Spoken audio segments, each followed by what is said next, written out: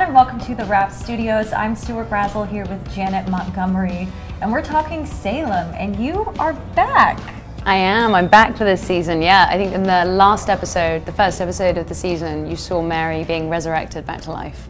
When you first knew that you were dying, do you worry about that on a show like Salem, or do you feel like there's always a chance to come back, or were you like, oh my God, I'm dead? Of course, you worry about it. I mean, you don't. you think, God, have I been really badly behaved? Um, and now they're, they're just killing me off.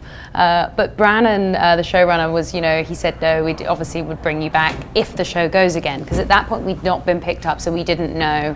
Um, but then you still kind of don't, I didn't know how she was going to come back or what she was going to come back as or how it would look. What can you tell us about season three? This season, there's a, there's a big love triangle that happens, which is uh, probably going to upset a lot of the fans of Mary and John, but I think it keeps things interesting and I think the relationship with John and Mary becomes quite complicated from you know what happened last season, not really being able to find each other, and Mary's Mary's at her weakest this season, but in that weakness actually comes strength uh, because she has nothing left to lose. So when you have this woman who's lost everything and everything's been taken to her, she actually becomes fearless.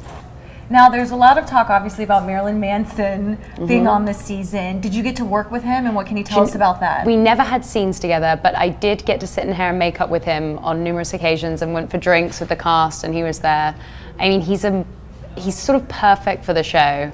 Um, and his fan base, I think, is really, really great for the show. He did the music. He does the the title, uh, the title music for the show.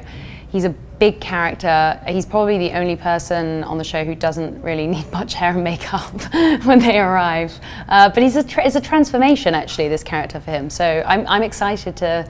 I think tonight's his first episode. Tonight's his first episode, yeah. so it's very buzzed about. Mm. And he was kind of saying um, that the director was like, just be yourself. And he's like, what does that mean? That you think I'm this person? like, don't really act, just be yourself. You know, he is, it is just himself, I guess. And without, you know, when someone's not done a lot of acting before, you don't want them suddenly like acting up a storm. I know, can you imagine him in like a romantic comedy? I can actually. Kate Hudson I think that would be good. Manson. Oh my god, that's such a good idea. we need new romantic comedies we, we with an edge.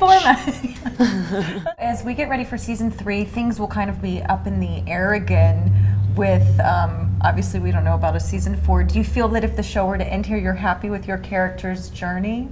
I, I really like the way this season ends. I mean, it's definitely not over, but I think the fans are going to be really happy with the way season three ends. It's a it's a nice ending. I, I don't want to say, I don't want to give it away. well, we're excited. Be sure to watch Salem Wednesday nights. Mm -hmm. It will be airing tonight on WGN.